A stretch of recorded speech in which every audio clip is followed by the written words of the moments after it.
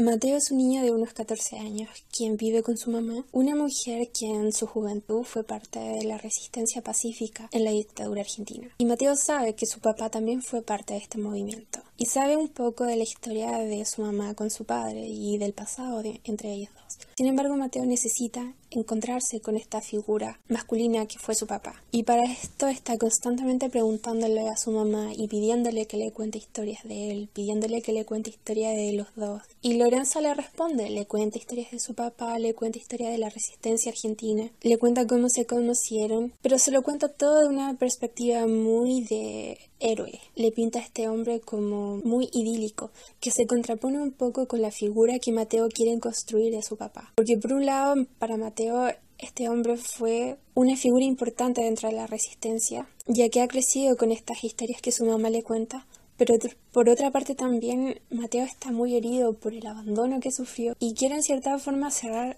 el círculo y para esto necesita historias más bien realistas sobre este hombre no tan idílicas, no tan de héroe. Y para esto le dice a Lorenza que está listo para ir a Argentina a buscar a su papá, a conocerlo y a enfrentarse a este hombre y saber finalmente quién fue. Y acá es donde se desencadena en Lorenza el recuerdo de todos estos años en los que ella luchó por parte de la resistencia pacífica, de cómo se organizaban estos grupos, de cuál era el motivo que los mantenía unidos y de contra qué era lo que luchaban. Historia que la marcó profundamente porque fue parte de su juventud y que le transmite a su hijo Mateo a través de estas historias que le cuenta de su papá, de, las historias que le cuenta de ellos dos cuando estaban juntos, etc.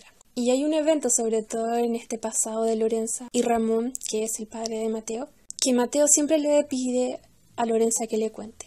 Y se refieren a esto como el evento oscuro, que fue cuando Lorenza, una vez ya cansada de toda esta lucha en Argentina, y sobre todo por haber sido mamá, le dice a Ramón que se vayan a Bogotá, que se vayan a Colombia porque necesitan más seguridad, para su hijo sobre todo. Ramón acepta, se van a Bogotá y comienzan a vivir allá. Sin embargo, Ramón se siente muy desadaptado en esta sociedad, no, no consigue adaptarse y no solo esto, sino que la relación con Lorenza se empieza a deteriorar muy rápidamente. Y en un movimiento un poco desesperado, Ramón le dice a Lorenza que va a tomar al niño para irse de vacaciones unos días. Lorenza le hace la maleta, se la entrega a su papá. ¿Y qué es lo que hace Ramón? Toma a su hijo y se va a Argentina. Obviamente Lorenza se vuelve loca al saber que su pareja se ha robado a su hijo y empieza a hacer todo lo posible para recuperarlo.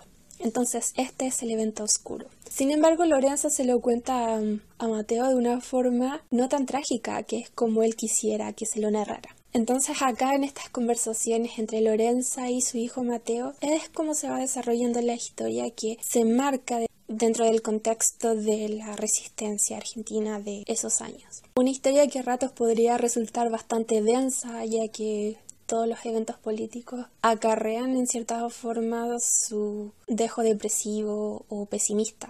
Sin embargo, la autora consigue aliviar un poco la novela con el personaje de Mateo, que a veces le pelea un poco a su mamá por estos recuerdos que ella le cuenta y que él le rebate diciéndole que ella está idealizando mucho esa época y cosas así. Entonces, esta novela se va desarrollando en forma de diálogo entre Lorenza y su hijo, recordando el pasado y recordando a su papá, y a su vez en la búsqueda interna de Mateo por reconstruir la, la figura de su papá a través de los recuerdos que su mamá le va contando hasta que finalmente se arma de valor y consigue escribirle una carta a su papá para encontrarse y finalmente conocerse en Bariloche, que es donde su papá lo había tenido secuestrado cuando tenía dos años.